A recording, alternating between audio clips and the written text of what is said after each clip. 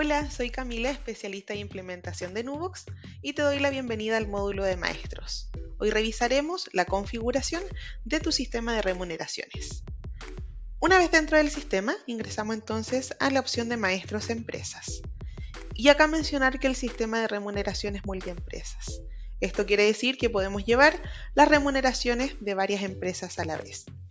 Para crear una nueva empresa, presionamos abajo la opción agregar y lo primero que el sistema nos solicita es un código para identificar la empresa dentro del sistema. Indicamos el código, indicamos el root de la empresa, su razón social y en el caso de que el root de empresa sea de persona natural, completamos los datos de nombre, apellido paterno y materno. Y luego completamos los demás datos básicos, ciudad, región, comuna, dirección, etc.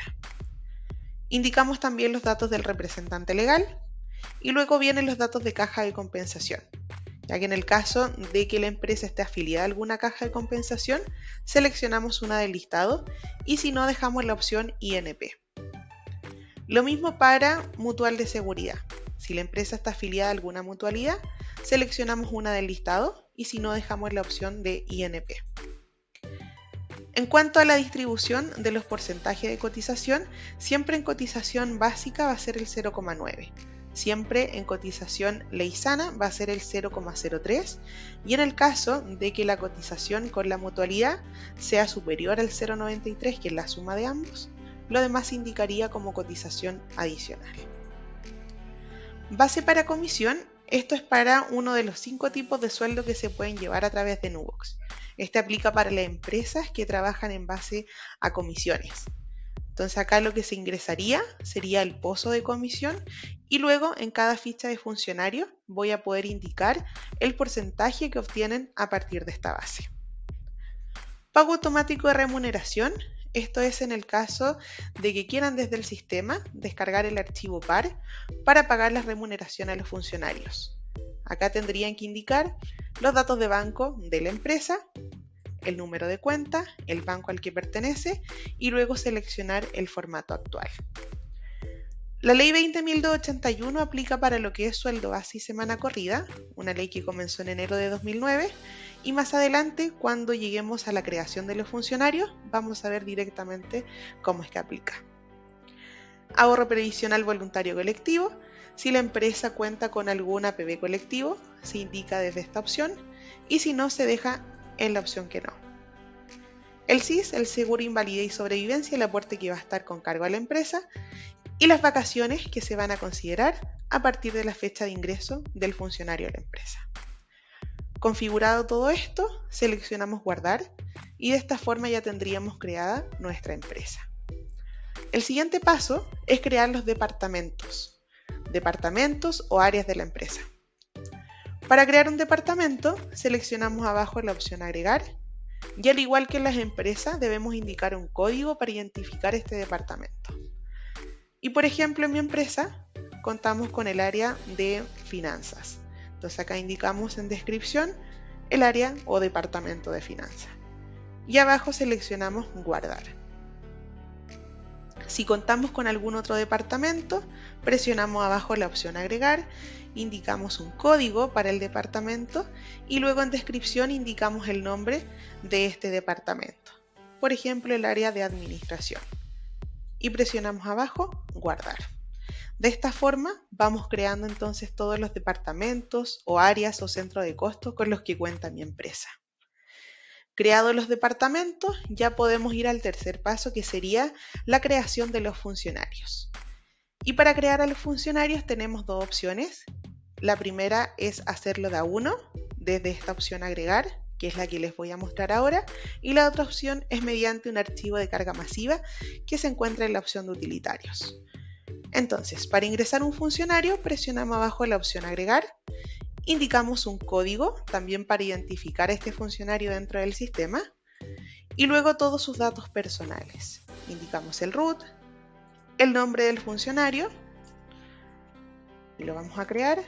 Indicamos su apellido, su fecha de nacimiento y los demás datos personales, teléfono, correo, dirección, etc. En la información del, del contrato debemos indicar primero la fecha de ingreso del funcionario a la empresa. Y la fecha de término solo se estipula en el caso de que el funcionario tenga contrato a plazo fijo. Si tenemos algún funcionario con contrato indefinido, cambiamos la opción a indefinido y la fecha de término la podemos dejar en blanco. El estado del contrato siempre debe estar activo, indicamos el departamento al que pertenece el funcionario y luego el cargo que tiene el funcionario en la empresa. También podemos señalar su establecimiento y este dato de tipo de jornada es muy importante, ya porque es un dato que va a figurar en lo que es el libro de remuneración electrónico.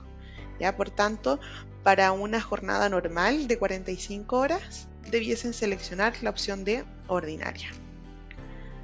Ajuste sueldo base de la ley 20.281.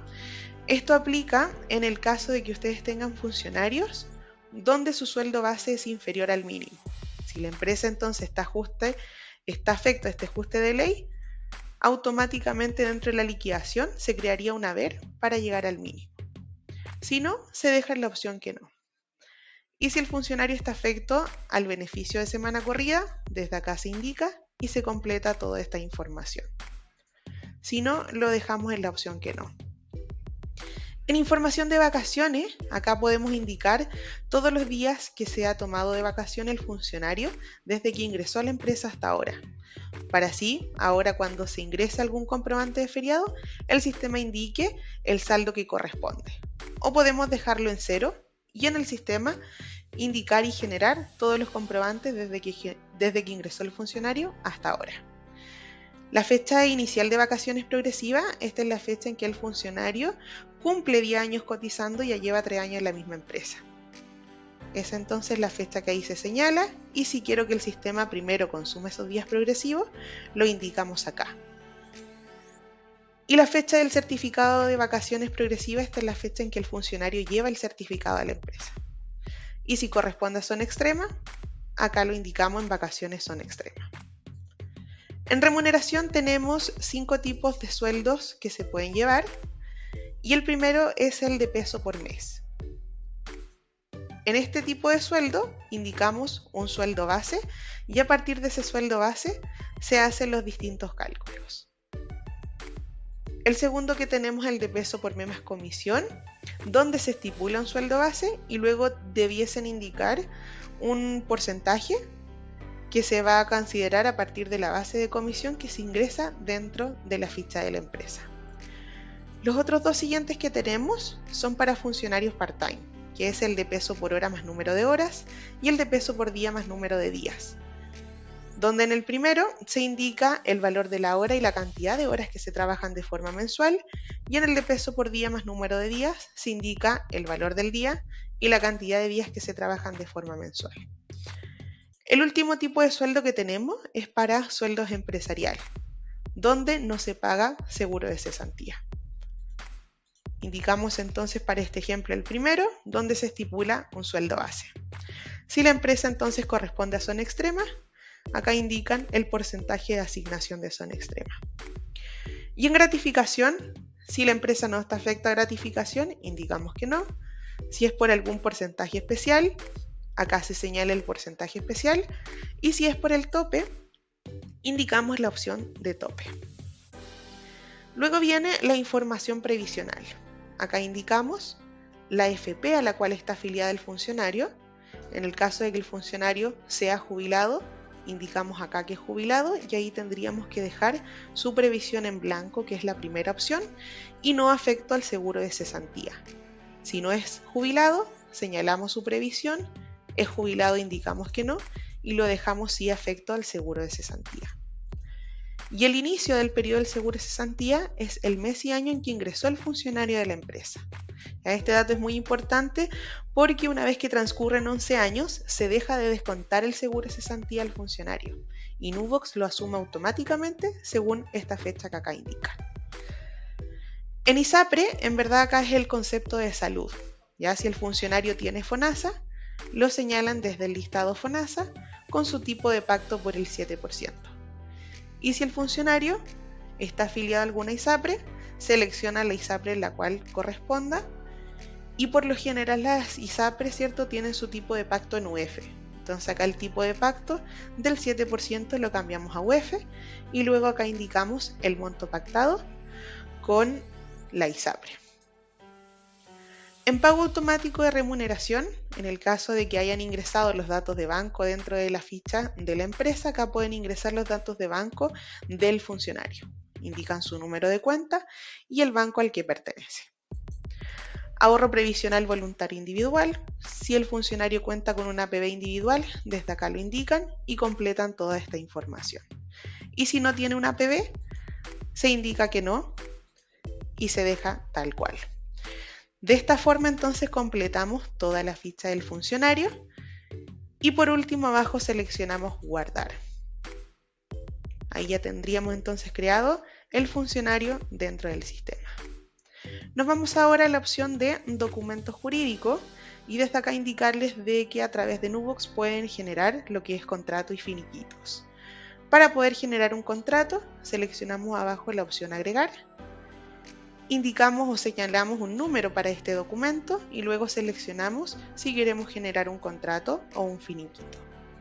Para el caso del contrato, seleccionamos al funcionario y algunos datos se van a completar de forma automática a partir de la, fecha, de la ficha del funcionario y de la ficha de la empresa. Los demás datos se deben completar de forma manual. Una vez completada toda esta información, abajo seleccionamos guardar y para poder visualizar el reporte de este mm, contrato, ¿cierto? Abajo tenemos una opción o un acceso directo al reporte, que es lo mismo si yo ingresara desde arriba la opción de reportes, maestros, documentos jurídicos. Seleccionamos entonces el tipo de documento, que en este caso sería un contrato, indicamos el número del documento y Nubox cuenta con dos formatos que son estándar y dos que son para constructoras. Ahí seleccionan el que quieran escoger, pinchamos aceptar y este es el formato entonces de contrato que Nubox ofrece. Y para el caso de los finiquitos, nos vamos a maestros, documentos jurídicos, presionamos abajo agregar, indicamos un número del documento y en tipo de documento seleccionamos finiquito. Seleccionamos al funcionario y acá mencionar que Nubox no realiza ningún cálculo para el finiquito. Entonces en el caso de que corresponda pagarle algo al funcionario, debemos detallarlo en esta parte inferior. Ahí indicamos lo que corresponda pagar, añadimos alguna descripción y el monto a cancelar. Por último, acá abajo le damos guardar y en la misma opción de reportes vamos a poder visualizar los reportes que ofrece el sistema para este finiquito. Por último, dentro del ítem de maestro nos vamos a veres y descuentos. Y acá mencionar que Nubox trae por defecto un listado de haberes y descuentos y son todos los que en esta última columna dicen reservados sí. Ahí los podemos ver. Y para todos estos conceptos que vienen creados por defecto en el sistema, Nubox realiza su cálculo. Y además utilizan un código, que es el que figura en esta primera columna, y ese código en específico es el que PreviRed identifica para esos conceptos.